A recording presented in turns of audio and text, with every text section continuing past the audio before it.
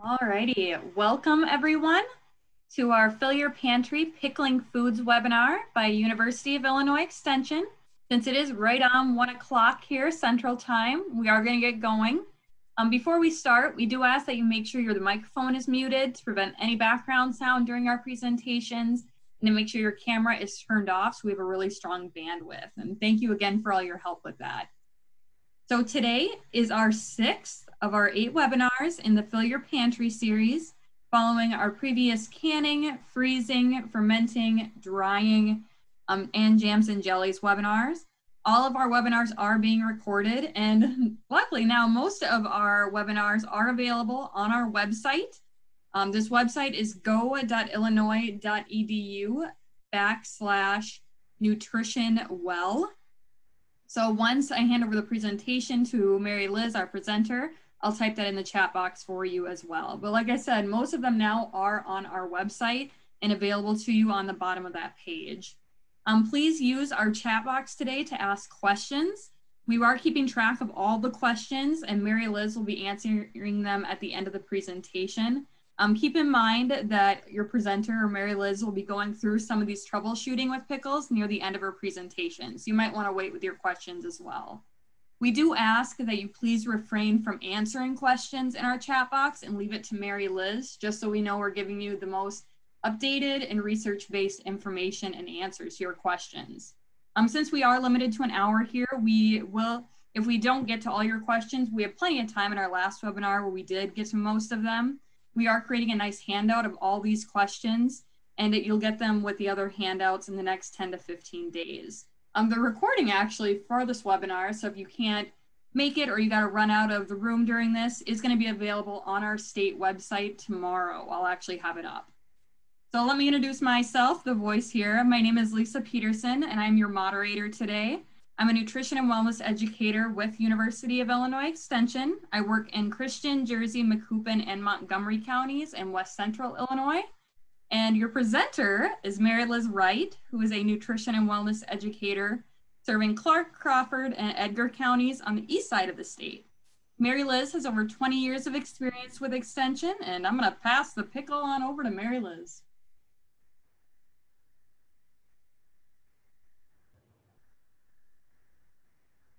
Mary Liz? So sorry. There we go. There we go. All right. We're coming to you today from University of Illinois Extension, which is the flagship outreach uh, effort of the University of Illinois at Urbana-Champaign. Extension has a presence in all 102 counties of the state of Illinois, and, and our uh, programs and information uh, reaches far beyond that. Each month, the web pages of U of I Extension draw more than 5 million views, and more than 200 countries have accessed extension's web-based information. So we are we're a little proud of that. That's why we have that slide in there. But we are part of that land grant university system and we are here to serve you and and to provide research-based information that will make your lives better. Today, we're going to talk about pickles. And uh, you can see my partner Lisa did uh, the graphic work on this slide. I, it made me chuckle a little bit, but I appreciate her her wacky techiness. So today we're, we will talk again about food safety when handling and preserving food. If you have joined us in other webinars about food preservation, you will note that some of this material is a bit repetitive, but when you're talking about food safety, we feel you cannot repeat it often enough. So uh, we will be talking about food safety. We'll talk more specifically about how to preserve pickles and, and what does that entail and what does it mean. And we'll highlight a little bit some of those problems that can occur when you are making pickles. So when we are dealing with produce, that food that we are taking from, from plants, from the ground, uh, it has a mission given to it by nature to begin decay the moment that item is harvested. And the purpose of the fruit or vegetable is really to provide food for that seed to sprout and grow a new generation. Well, why is that important to us? It's important because we want to preserve our food. We don't want it to decay. And so our methods of preservation intend to stop that decomposition, to stop that enzyme activity that will lead to uh, decay and food spoilage. The other things that we're concerned about is making that environment hostile to those pathogenic bacteria, to those bacteria that can make us ill. Now, we know that all food contain bacteria either on the surface or, or systemic within them.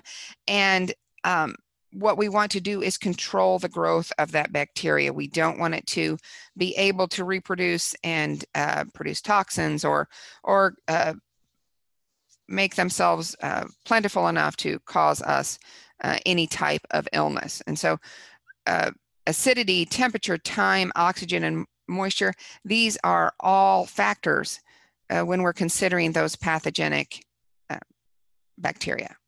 So, when we're talking about food preservation, as I said, our whole mission is to slow down the enzymatic or decay process and kill or slow down the growth of the pathogens. And we can do this classically uh, with three different methods. Canning heats foods or uh, introduces acid as well as heat to kill or prevent uh, those bacteria from, from living. Freezing really inactivates the enzymes.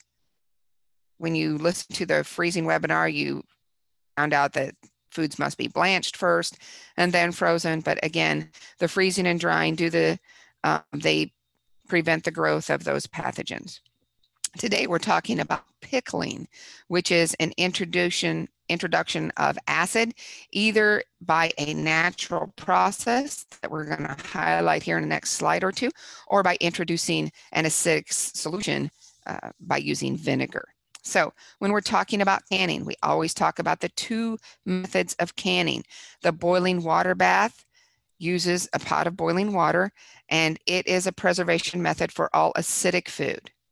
Pressure canning, you must use a pressure canner because what we need to do when acid is not present, we need to heat the very interior of that jar to 240 degrees to kill those pathogenic bacteria that can survive um, in an anaerobic or absence of air environment. And so specifically, what sort of pathogenic bacteria are we talking about? Well, Clostridium botulinum. And, and it's kind of an odd beast in that this bacteria is present. It's soil borne, it's around us all the time, but it really does not cause any harm until it is entered into an environment that has no oxygen. Well, let's think about this for a minute. The canning process exhausts the air from that glass jar of food, rendering the inside of that jar to have no oxygen. It creates a vacuum. And so we have this botulism bacteria in a friendly environment for itself. Now, botulism likes no oxygen. However, it does not like acid. And so, therefore, when we add acid or create acid, foods can be processed in a boiling water bath canner. Other foods that don't have acid need to be canned or processed in a pressure canner. Like I said, it needs to get up to 240 degrees. Now, sometimes we get the question, well, you know, botulism, that's an old fashioned thing. We never hear of that anymore. But actually, we do. Uh, just for example, from 1999 to 2008, so a little uh, time span of just a few years, there were 116 botulism outbreaks. Botulism is um, a systemic toxin that affects your nervous system. There is no known cure. Their hospitals have an antidote, but it will simply stop the damage that has occurred prior to the administration of that antidote. So very important to pay attention to use that pressure canner when you are canning low acid foods. And it's also important to use an accurate dial gauge if you have a pressure canner with a dial gauge. We recommend having that dial gauge pressure uh, gauge tested annually.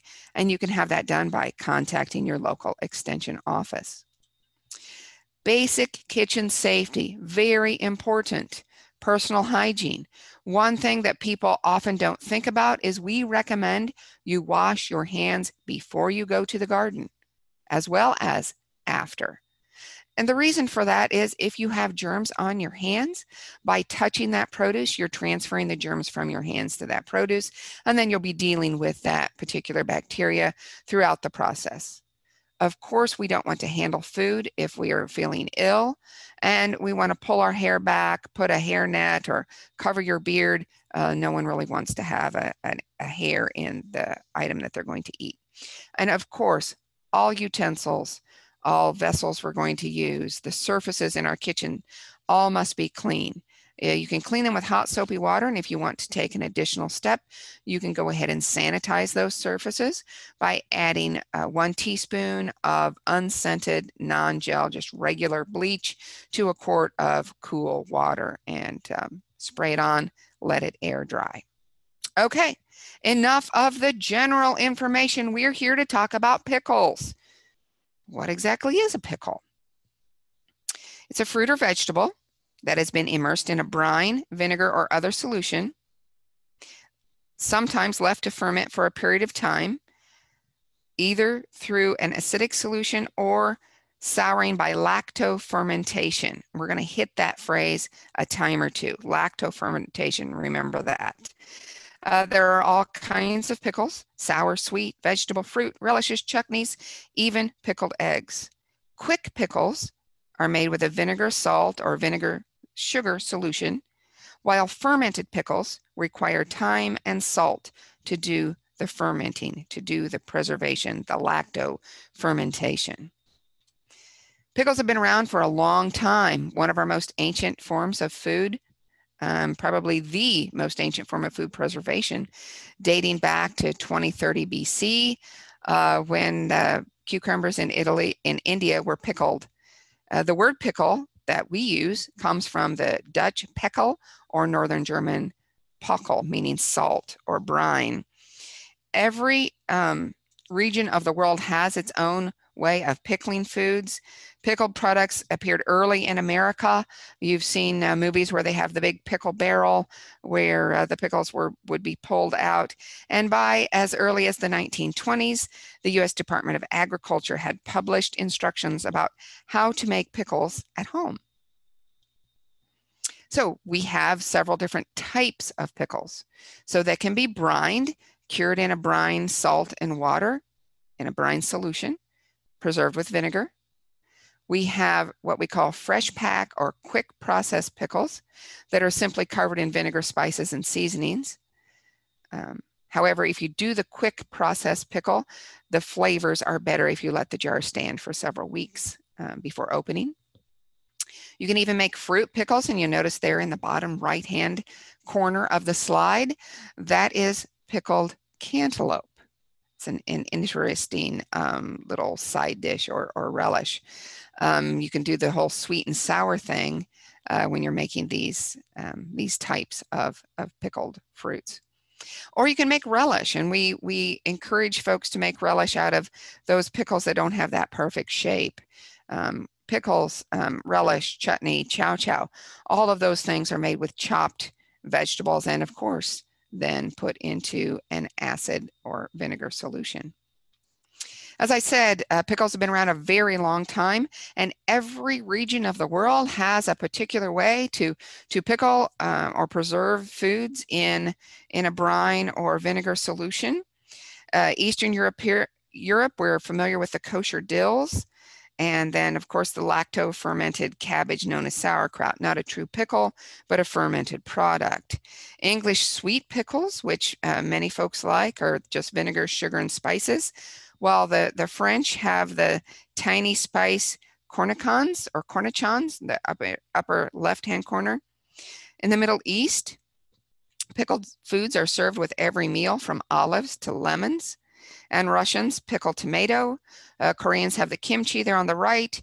Japanese pickle plums, daikon radishes, and the Italians pickle eggplants and peppers. So all sorts of interesting ways around the world to enjoy preserved foods.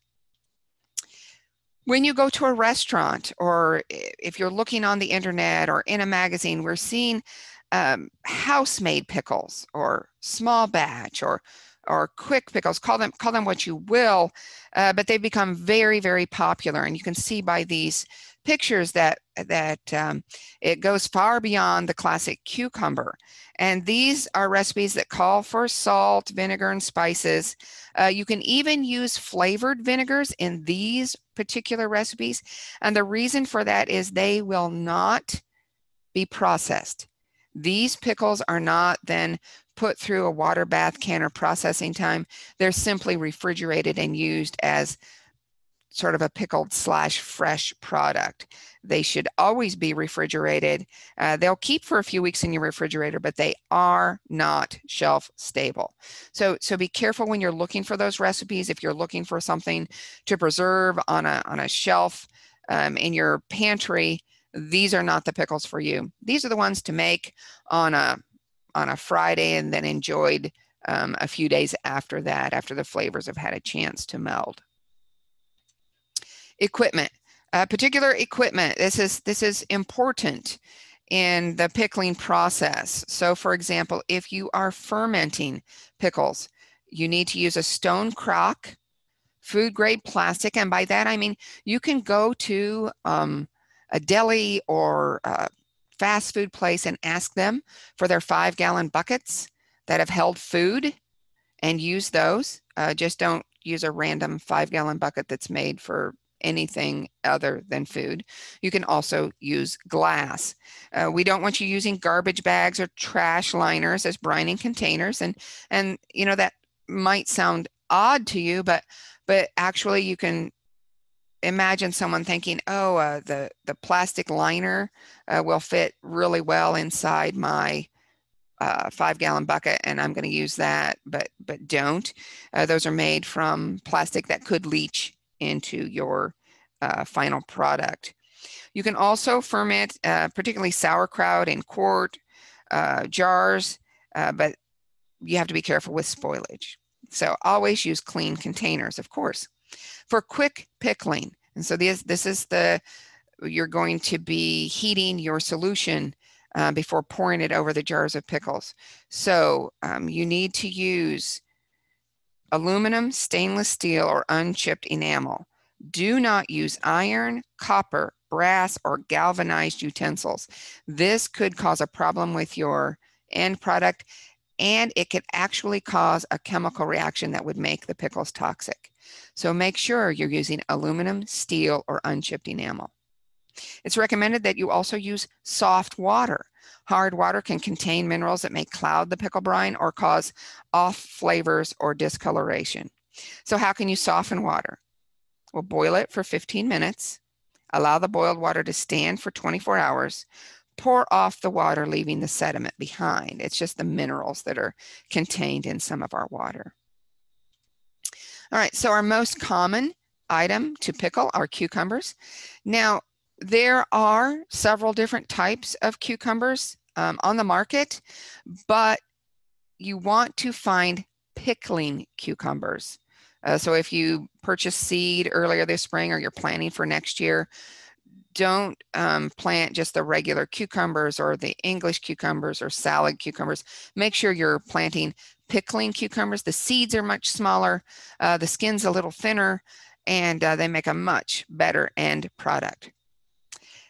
The other thing to remember when you are canning cucumbers, when you're pickling, is to cut 1 16th, at, least 1 16th. I always go a little bit more just to be on the safe side from the blossom end. So that's the end opposite the stem of the cucumber. And this is because the blossoms may contain an enzyme which can make your pickles soft. And everybody wants a crisp pickle. All right, so when we are processing pickles, when we are making those pickles, salt is usually an ingredient. And I say usually, and I'm going to say always. Um, and so what kind of salt do you need to use? It is recommended that you use canning or pickling salt made for that purpose. You really don't want to use, use um, iodized table salt.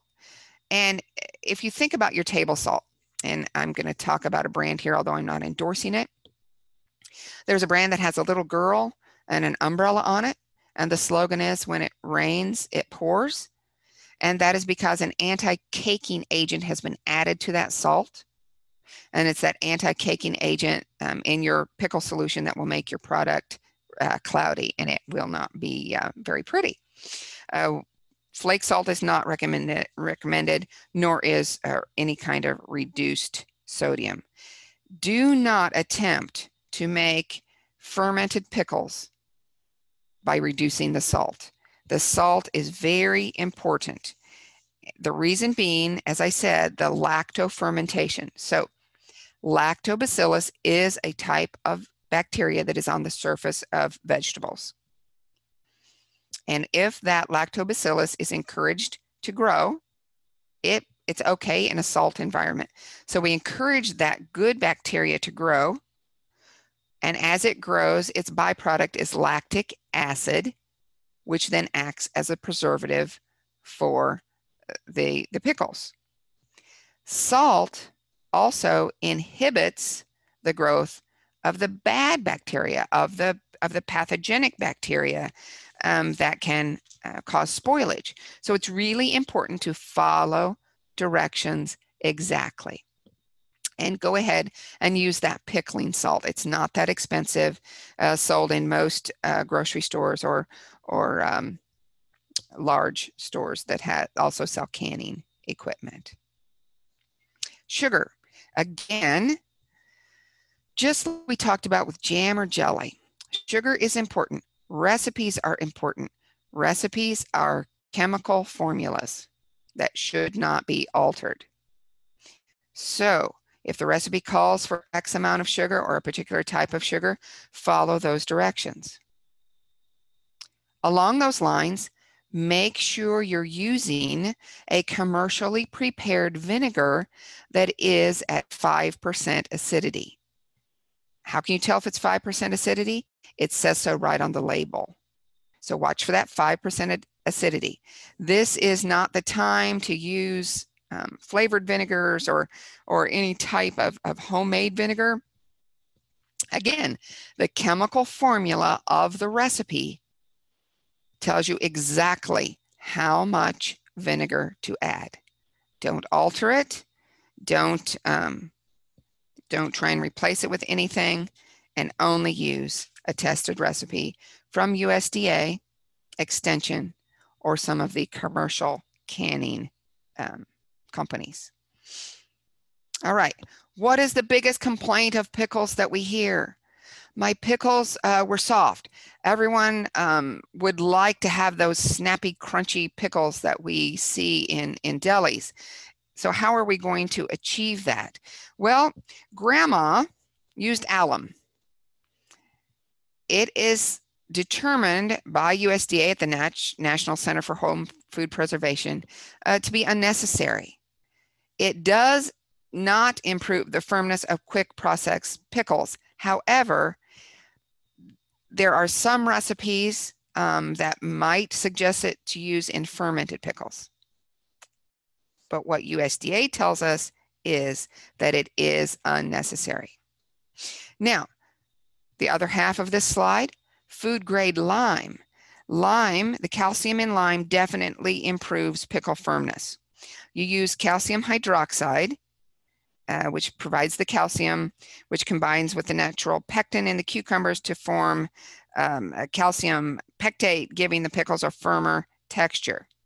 However, you must be very careful to make sure you're removing all the lime number one, make sure you're buying the food grade lime, not the lime you put on your field.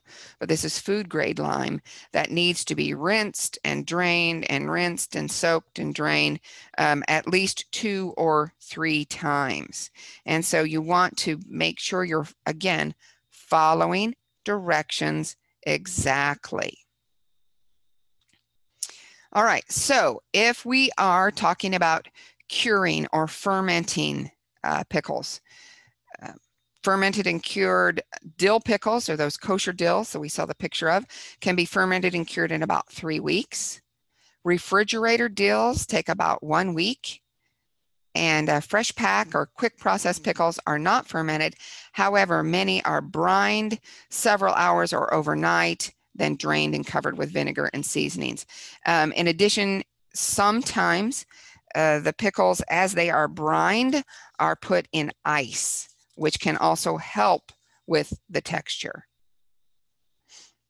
All right, and so now we're down to that portion of our program where we're going to be talking about some problems uh, that can happen when we're making pickles. So soft or slippery pickles, um, your vinegar might have been too weak, insufficient amount of brine, not processed properly, blossom ends not removed, or um, you might have be using old spices.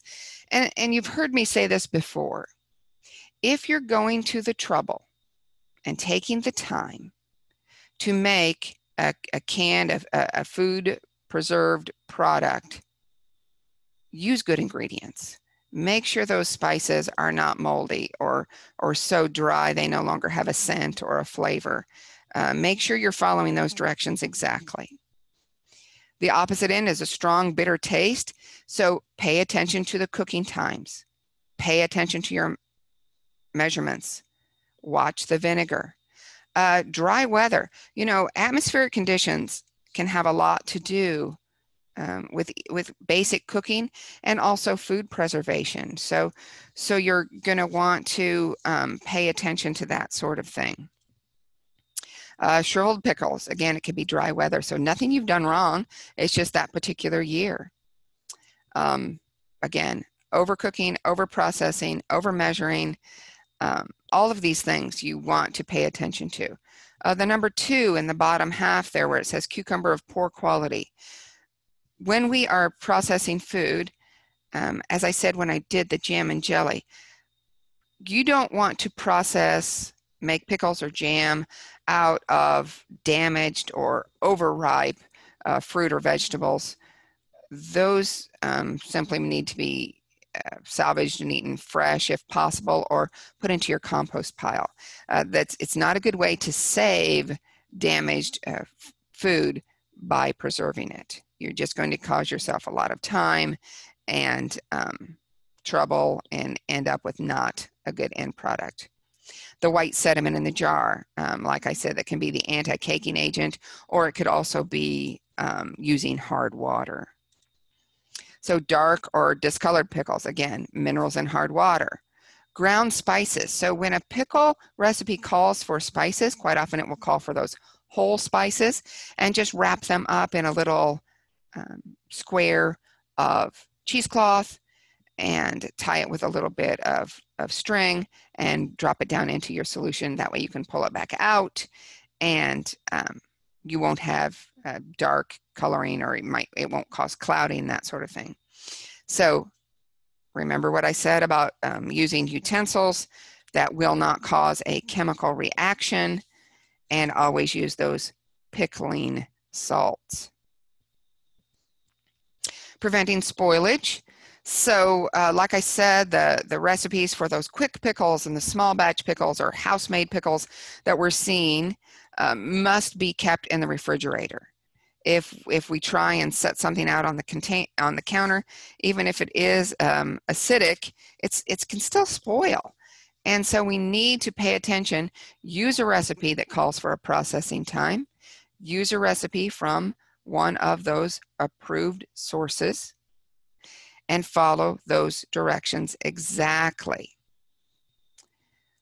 Something that's interesting and can be used if the recipe indicates is something called low temperature pasteurization. And so this is in place of the boiling water bath processing. And it may result in a better product texture, but you need to be very careful and again, follow directions exactly if you're wanting to do this.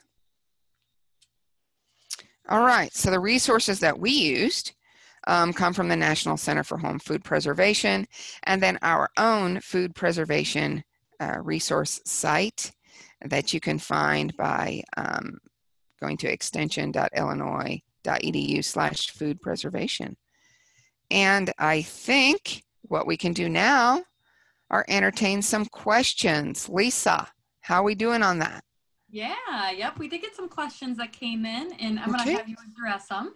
All righty. All right. So here's the first one here. So, what is the role of grape leaves found in dill Oh, pickle recipes? Yes, yes. Well, uh, you know, I talked about the enzyme on the blossom end of the pickle might um, cause the pickle to be soft. There's kind of an opposite enzyme in a grape leaf that will prevent the pickle from being soft. Now, I have never used that recipe. That's um, an Eastern European tradition, but the way I understand it from a chemical standpoint, it can work. All right. And please feel free to keep asking questions in our chat box too as Mary Liz is answering them. Um, okay, so our next one here is when I make radish quick pickles, the red skin bleeds, then the pickles are just pink all over. Is there And aren't they pretty? to Right? if they Yeah, can prevent it? There's really nothing you can do to prevent that. Yeah. They're just pink. Uh, somebody asked, where do you, going back to the grape leaves, where do Mhm. you get grape leaves? You know, I think in some of our larger metropolitan areas, they're they're sold. Uh, I believe that you could probably also order them. Um, I, I- again, that's not something I'm familiar with, um, so I'd I'd have to defer to to someone else on that. Alrighty. How do I, what can you use to make pickles crisp? Yes, excellent question. Um, and so there, there are the, the other methods. Uh, if you're making quick pickles, the brining them in ice can help. The, as we said uh, when we were talking about alum and food grade lime, uh, food grade lime can help make pickles crisp. However, you need to find a recipe that indicates uh, you to use that. Follow the directions exactly with the rinsing and the soaking and the soaking and the rinsing and the back and forth. Uh, alum, um, as we said, is not recommended, but can be used uh, with a good recipe with a, a fermented pickle. So, you know, that is the age-old question. It's the it's kind of the holy grail of the pickle world. How do you make them crisp? Everybody wants their pickles to taste just like, and I'm not going to endorse a brand, but just like that uh, commercial pickle that's only sold in your refrigerator case. You know why? Because it's been barely processed. That's why. Um, once you process the pickle, once you immerse it in a boiling water bath, uh, you're going to have some softening. But that being said, you still need to process. I'm not. I'm not contradicting myself, right? This one's come up a lot, and I, I can actually address this one. Okay. We've got a lot of questions about the slides and the presentation for those coming in late. Ah, Um, this- okay. Will all be available to you. Luckily, because of um, some work with Extension, this PowerPoint presentation is being recorded today, and I will have it onto the website tomorrow. Um, we'll remind you of the website here at the end. Um, the PowerPoint presentation, we will also put all of our handouts out, but you're also going to get an email where you can get the handouts a little quicker by filling out a survey for us. So yes, we will have the slides and we actually have really nice handouts with this as well as recipes that we are giving out um, at the end and you'll probably get them in the next 10 to 15 days. Is that, yeah, that's probably a good estimation, right, Mary Liz? Yeah, that gives us a little breathing room. Yes. Uh, especially when we're trying to, because all these questions as well that you're asking, we are going to address them all and give them in your handouts. So Yes. if you had a question and we didn't hit it, hopefully we still have plenty of time. But, or if you wanted a better explanation, we'll be able to provide that in the handouts. Okay, going back to the questions. You bet. Okay, so this one is how do you get crispy pickled peppers, such as banana or jalapeno? Oh, again, uh, good question. I uh, just following those the, those recipes, and and again, it's it's hard to do, um, but you'll also notice that uh, even commercially canned peppers tend to be a little soft. Um, it's in the in the canning process. You're breaking down that cell wall a little bit. Um, you can find a recipe that uses the food grade lime, and like we said, the the calcium will react with the natural pectin and and firm up that cell wall. But um, it's not going to be like a raw a raw item. Alrighty. Okay, so I have a question about refrigerator pickles, which is something we did a lot of addressing on here. So Yes. I've seen recipes where after the pickles cool, they're left on the counter for a couple days before placing in the refrigerator. I've also seen recipes where the pickles are cool, but they're put immediately in the refrigerator. Is Mhm. placing it on the counter first safe? Well, um, you know, you can have you have like a 24 to 48 hour window on most things, particularly in an acid solution. Um, I their thought maybe is that flavors might develop a little more quickly at room temperature, but whenever I make them, I put them right in the fridge. Okay. Oh, this was a good question too. Pickling salt come often comes in large containers. How long is it? How long can you safely store pickling salt? Oh, well, you know, uh, moisture is the enemy of salt. So keep it dry. What I do with mine is I, you know, you purchase it in a box, but then I put it in a Ziploc bag and it, it keeps for years. Yeah, I think it's one to three years roughly, but like Yeah. a lot of it has to do with Yeah. where you're doing it. Right. Alrighty. Let's see, going down here. Okay. Are you opposed to a good sea salt to include a lot more minerals? My question is for fermented pickles, which is Right. No, just use that pickling salt, please.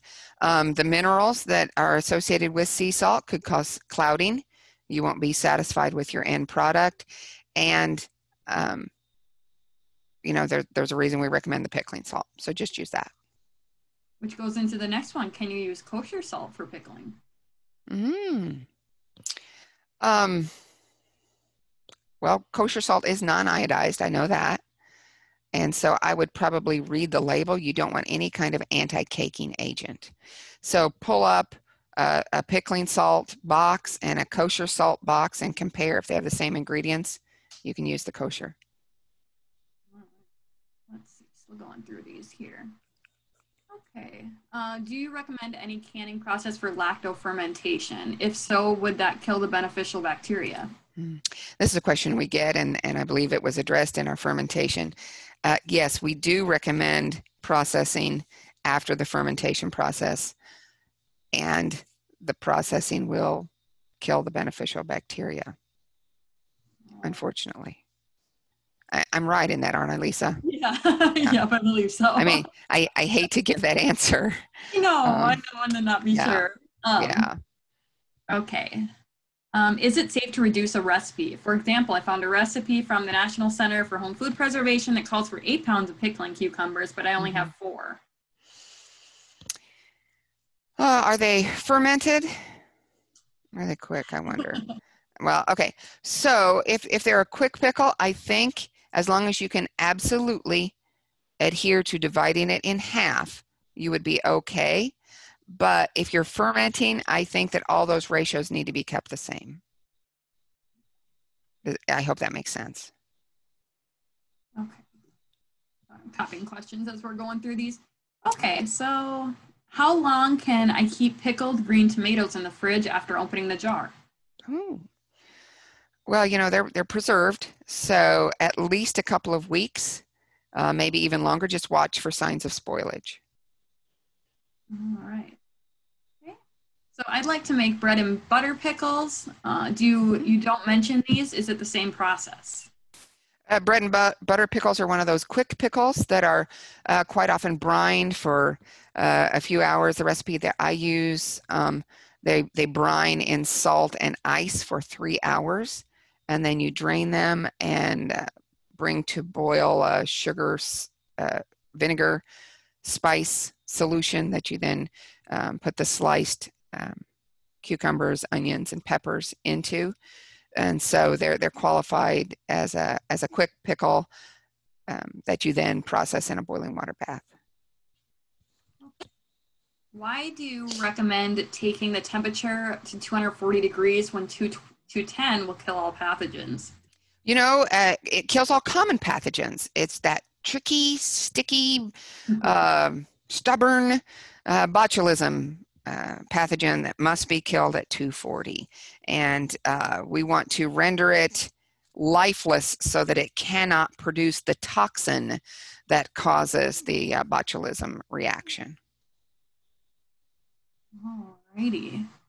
And we kind of talked about this one already when you went through all your salt. But what of what's the difference between a sea salt and a pickling salt? Okay, a sea salt's going to have some trace minerals in it that uh, you're not going to want in the canning process. How long can you keep quick pickle jars? I think you kind of hit on this one too. Right, in, in your fridge, um, a couple of weeks, maybe even a little bit longer. Um, long as there's so keep many, them. yeah. There's so many different recipes for pickled beets. What's critical? Well, uh, again, pickled beets that you are then going to process into a shelf stable product, not pickled beets that you would keep in your fridge and use for a couple of weeks. So we need to distinguish those two. Pickled beets that you're going to process and then put on a shelf, you must, you must, you must use uh, an approved recipe, researched recipe. So from the USDA, from an extension source, from a commercial canning source such as Ball or Kerr. We got messages coming in left and right. We still got plenty of time here. Okay. Yeah. This one is about um, your slide mentioned aluminum, seal and unchipped enamel for quick pickling. Is glass Mm-hmm. okay? Uh, yes, but if you have to heat it, I mean, I suppose there are glass pans, right? Mhm. Just, you know, just make sure you're using tempered glass. Yeah, that'd be the thing. Yeah. That's tempered Right, yeah. glass. Might have some cracking. Yeah, and you know there are there are stories out there now with um, the company that we've always um, trusted as tempered glass changed their formula, and we're seeing those glass vessels explode now. So be careful with glass. Scary stuff. Okay, so um, do most people just do a canning bath for dill pickles, or do they pressure can? Uh, most just do the boiling water bath. Bath, yeah. yeah you don't you could really harm the texture of those uh, dill pickles and you know you're using the acid the vinegar uh, to avoid any kind of botulism situation I'm giving Mary Liz a break here. We have another question about the handouts from Mm, before. Um, from before sections. I don't know if they're referring to our other webinars. Um, those are the handouts that have been in our last five or six webinars are slowly making their way to our website. So again, it's go.illinois.edu backslash nutrition well. I can put it back in the chat box. You scroll down to recorded webinars. Next to each webinar that's been recorded from our last couple series, there should be a handout that you click on that'll open to all our handouts from that webinar and a recording. So a recording of what's going on right now. So those are the ones we're recording. So yeah, so all, the previous ones, they are coming up, but they're coming up a little bit quicker now. Um, but yeah, they'll be available to you. Okay, back to questions. Let Mary Liz take a drink of water there. yes Okay. Uh, um, any thoughts on fermentation locks? Are they necessary? And if so, do you recommend a particular type of for mason jars? Oh, right. They're they're commercially made, and that's again something that I'm not well versed in. Um, however, our fermentation webinar, uh, I think, address those. So if you want to go to our site and and look up that webinar itself, I think it would give you more information. And that one is on the website. I uploaded that one yesterday, so our Okay. recording is available with its handouts. Very good. Yeah. Okay, so let's go through another one here. So I'd like to try pickling carrots. Should I dice slash cook them first? Um, would it be like beets? Okay, so if you're just doing the quick ones to to put in your fridge, um, it's it's best to cook them first, um, simply because a, a raw carrot in a vinegar solution it would take it a long time to soften it, and um, it will absorb the flavor better also if you cook it first. If you're talking shelf stable, then you need to follow your directions. Okay. Okay. Next one here. Hmm. Can you reuse the brine from commercially bought pickles to reuse for quick pickles? Sure, I do it all the time. Yeah. Okay. It's going to weaken. Um, I, I would only use it one other time uh, because the water in the the food and the you know vegetable is going to be drawn out through osmosis because of the salt solution, and so you're weakening that salt solution every time you use it. So so one additional time is is about all that you would find acceptable. And we talked about this one a little bit too, but can you use kosher salt in place of pickling salt? No. I mean only if you just read that read that label. So growing up, my mom just my mom used just regular cucumbers for pickling. Why does it matter now that we make sure we're buying pickling cucumbers or pickled cucumbers? Um, you, you know, it doesn't it doesn't really matter. Regular cucumbers have bigger seeds, um, more space in that middle, so you could end up with some hollow pickles. Um, it's it's really just um, kind of I don't really want to even say quality, but uh, um, almost a cosmetic. The, the seeds are so small that they're just not obvious and they, they it looks like a better pickle. Alrighty. Over. Okay. Oh, I like this question. How do you feel about still having pickles from 2018? Sure, as long as they've been kept cool and dry. You mean you haven't opened them, I assume. So if you if you haven't opened them, they're they're fine if they've been in your fridge since 2018, I'd say you don't like pickles very much, so maybe you better quit making them. Um, but uh, yeah, a couple couple years, you're gonna notice some issues with uh, with quality, if if not some spoilage issues as well.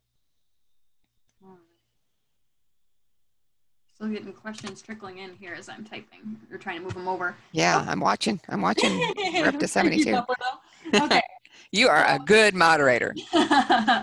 okay, so on 14 day pickles, can you safely reduce number of days if you no. in each step according to recipe? And you already said no, no. before I finished it. No. So. and, and a 14 day pickle is a fermented pickle, and so you need to follow those directions exactly. Um, next one here, how long are quick pickles able to be stored on a shelf after canning? Okay, just like any of our canned goods, we recommend that they be used within a year. And again, you have gone to all that trouble and, and some uh, amount of expense to preserve that food. It's, it's best to eat it at its peak quality. Now, that being said, as long as the food hasn't been uh, frozen or the, the lid rusted or uh, any any other signs of uh, compromise or damage, they will be safe for quite a lot longer than that, but the quality will suffer. So just try and use it up within a year. If it if you're getting towards the end of the year and it looks like you're going to have several jars left over, well, that's when you give it to friends and family. So clean out your pantry every year, start fresh, and uh, you'll be you will be pleased with the product. You suggest soaking fresh picked cucumbers overnight before pickling? Soaking them in like a brine solution? I wonder. Yeah, um, I, again, you need to follow the recipe. Um, many of those quick pickles do um, soak the pickles in brine. And I, and I will also tell you, and I've not seen it, it's on my bucket list for a field trip. Uh, the areas of our country that raise commercial pickling cucumbers have large storage vessels, almost like our grain bins around Illinois, uh, but these large storage vessels hold cucumbers in a brine solution until they're ready to be processed. I, I think that's fascinating. Uh, not that you should do that because they have all sorts of commercial things that allow them to do that, but uh, some recipes might indicate for you to brine uh, cucumbers overnight before processing. But follow that recipe. All right. Okay. Is there any harm adding fresh cucumbers to commercial pickle juice slash brine after you finish off a jar of pickles? No, no. Just know that you're going to weaken that brine by, as I said, the water leaching out uh, by osmosis into that salty brine solution. Okay keeping on that topic as I'm going through here, mm-hmm. what can I do with any leftover brine? Can I store it and use it later, or does the brine have to be used, or can brine if, be? If you right, if you are if you are making your own brine to process a batch of pickles, discard that brine when you're finished. I was only talking about using you know the leftover pickle juice in a commercial jar, and you can add some fresh veggies to that and extend the life you know a, a little longer, but it's not uh, to be used as a as a preservation method. Okay. Are cinnamon pickles the same process? Um, I've had cinnamon pickles and they're delicious. I know, Um, like I've never had those. Very interesting. I, I I've seen them with zucchini uh, more so than cucumber, but I I believe um, you know you can also have the cucumber. And again, uh, follow a recipe. Follow the recipe. If you're using a great grandma Mildred's recipe that was developed before 1985, uh, and you want to go ahead and make that recipe, that's fine. But then keep it in the refrigerator and eat them like quick pickles. Don't rely on her recipe to be the type of recipe that you can preserve on a shelf. All right, let's see. Somebody wanted you to share your favorite quick pickle recipe you described. Oh, well, um, as I said, I, I like that three hour brine uh, bread and butter pickle. I, I like those. That's a love that. staple. Maybe you have to look at our handouts and include that one, Mary Liz. if it's not- Okay. Yeah. Uh, let me let me make a note of that. Yeah, that seems like a good idea. And like I said, we've had a lot of people requesting our slides. We will we'll Mm-hmm. create put them into a nice PDF form and get them to you as well with the handouts, just for those who do want the slides as well. Okay. Let's see. Uh, okay. Oh, and this one's we're not related. Not well, it's related to canning, but how do I find my local extension office to have the dial gauge on my pressure canner tested? Oh, excellent. Uh, well, just um, Google whatever state you're in um, extension. So, you know, Illinois extension, and you can find the website. And what we have on our site, and I'm fairly sure other states do as well, is a map of the state of Illinois. And then you click on your county, and it will give you the contact info uh, for the office in that county. That being said, many of our offices are closed temporarily due to the pandemic. And so, uh, for example, in, in our uh, area, leave a message on the recorder, and uh, an extension educator or agent uh, will get back with you.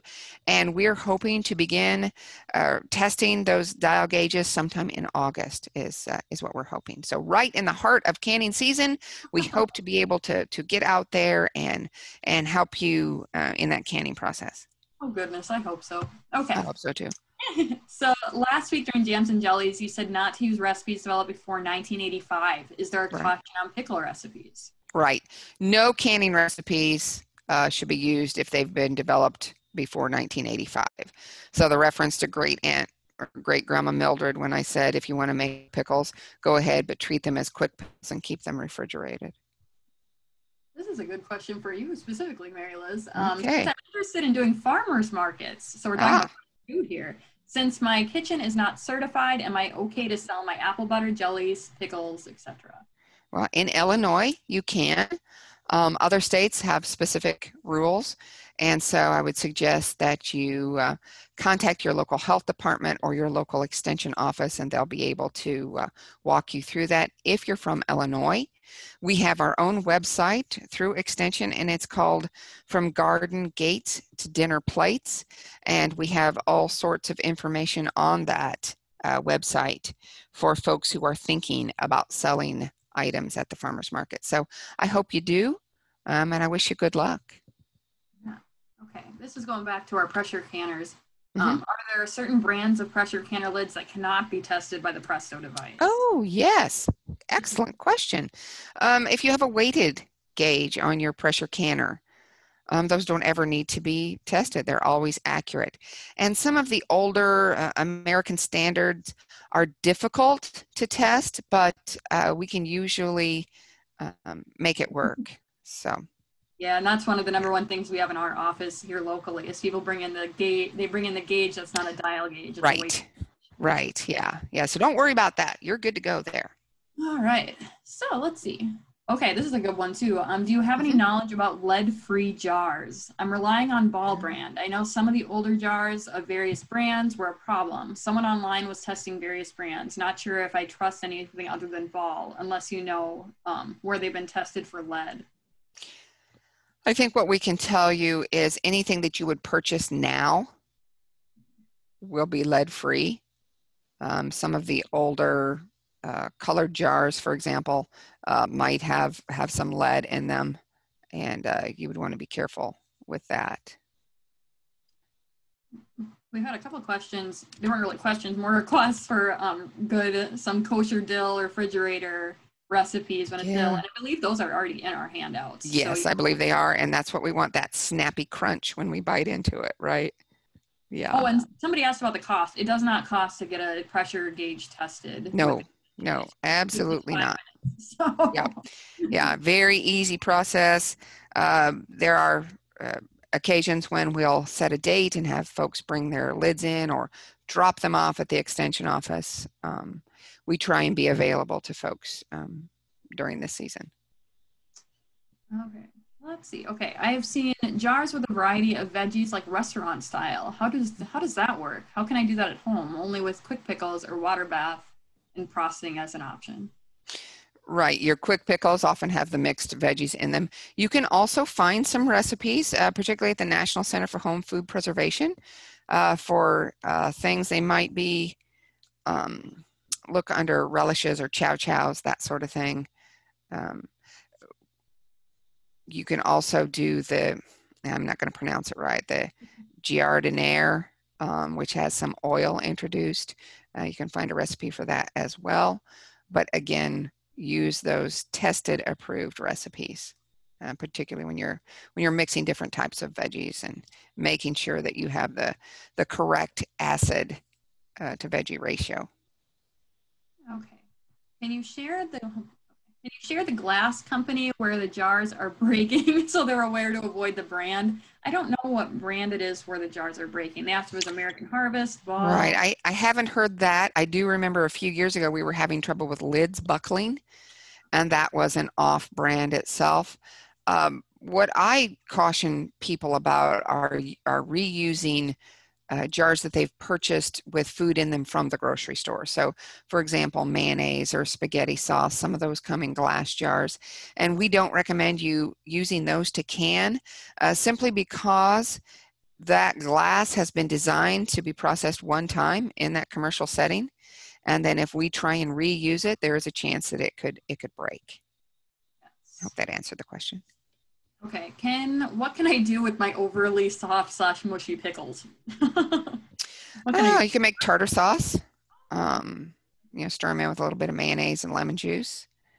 Uh, you can use them uh, in any kind of salad, like chicken salad, egg salad, ham salad, any of those, um, as as an ingredient in um, anything like that, as uh, a sandwich topping. So, any number of things. all kinds of things you could use them for. Yeah. Okay, let's see where else. Okay. Um, I was looking through the ball recipe book this week and I noticed that a number of the pickled slash chutney recipes only make a small number of jars, like three pints in a boiling water bath. Is there a reason that the recipes can't be doubled for one processing session? Well, usually we don't recommend doubling recipes, particularly for jams and jellies. Um, my guess is that those recipes were designed for this really small home canner who maybe doesn't even have a garden. That's what I'm seeing um, the the commercial canning companies uh, really catering to that that person who's not preserving food to eat all winter long, uh, the person who's doing it more for a, novelty, and um, you know that that's a very good question without looking at the recipe I- you know i, I hesitate to ask uh, to give you permission to double it we'd want to make sure all the ratios transfer over uh, so leave that in the chat box and we'll uh, we'll do some research and we'll make sure that that is answered in our handouts Yes, absolutely. Okay, well, let's see. Okay, is there any benefit for soaking pickling cucumbers in an ice bath before making refrigerator pickles? Um, people say that it can help make them a little more firm All right. again you're dealing with the cell wall of the of the vegetable Um, I know somebody asked here, and I got a quick run to the website to look a little later, but about our cottage food website. Um, we'll, we'll put that on the handouts as well. And Yeah. before before we end this session, I'll make sure I do get it in the links as well, just so you have an option to look to go check the website.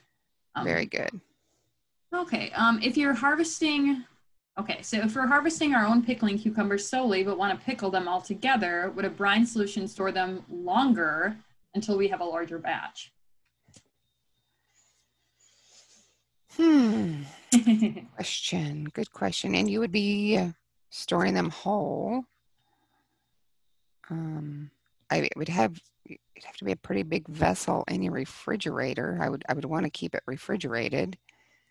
Um, again, that's something that you know that's kind of a commercial question. Um, but leave that in the chat box and we'll address that one later too. I think you did briefly touch on this, but how do I determine how hard slash soft my water is? Oh, right. Well, um, you know, most people will know if they have hard water. They've got those lime deposits in their dishwasher or their tea kettle. Um, most most water is hard. I, I will tell you that. Um, uh, some commercial met, uh, water sources that come from deep wells might not be.